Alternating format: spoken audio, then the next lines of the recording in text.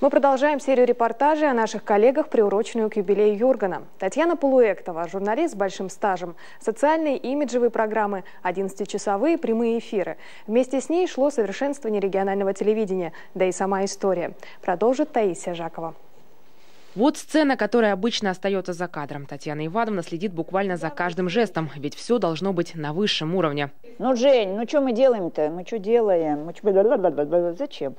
Люди должны знать погоду, каждый, любой, малый, взрослый услышит. Давай так, спокойно, с чувством, с расстановкой и не тарабань.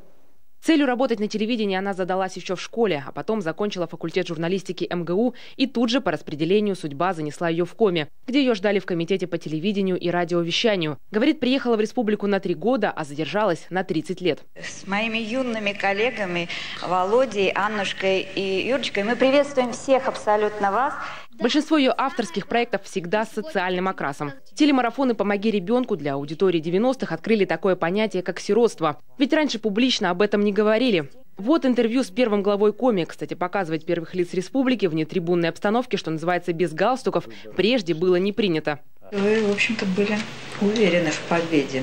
Там было очень много претендентов. А это фото со Схабом Асхабовым перед записью очередной программы. Кстати, именно известный ученый, член Российской Академии Наук, и стал первым телевизионным соавтором Полуэктовой. Спустя два десятка лет они снова встретились на площадке. Телеведущая пришла к нему домой с программой «Большая семья». Кстати, это, пожалуй, самый запоминающийся за последнее время проект – цикл передач о национальной культуре народов, проживающих на территории нашей республики.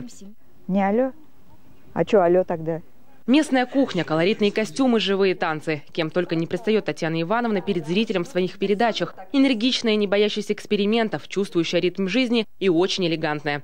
Телевидение она называет стихией, которая обладает магией. У меня нет такого понимания, что ты, э, значит, уходишь э, там домой с работы, и ты про это забываешь, и нет ничего. Но учитывая то, что я все время, э, все эти годы работала в тематических программах, да, конечно же, дома э, все равно прокручивается. Как я говорю, чистишь картошку, готовишь там ужин, да, ты все равно продумываешь, как э, выстроить сценарий, как э, найти ту самую линию, чтобы не то, что интересно было людям смотреть, а то, что это было ну, с пользой, что ли, чтобы выстрелила эта передача, чтобы был результат какой-то. Психолог, дипломат, актер, учитель, режиссер. Она, безусловно, объединяет в себе десятки специальностей. Ведь это особый дар обладать телевизионной природой. Уметь убеждать и аргументировать. И особая заслуга – внушать доверие и быть нужным своему телезрителю.